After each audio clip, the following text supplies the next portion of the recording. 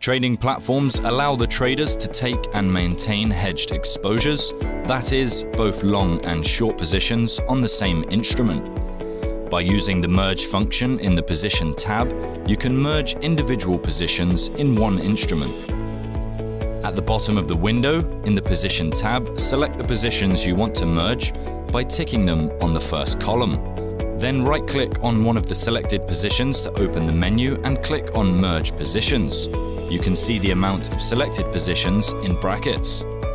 The merge operation helps you manage your hedged exposures efficiently. Merge is an operation that offsets several positions between them without any market transaction, which means no commission or spread costs. By using the merging function in the Position Summary tab, you can merge all positions in one instrument. Go to the Position Summary tab and select the instrument. Right-click the instrument to open the menu and click on Merge Position to merge all positions of the instrument.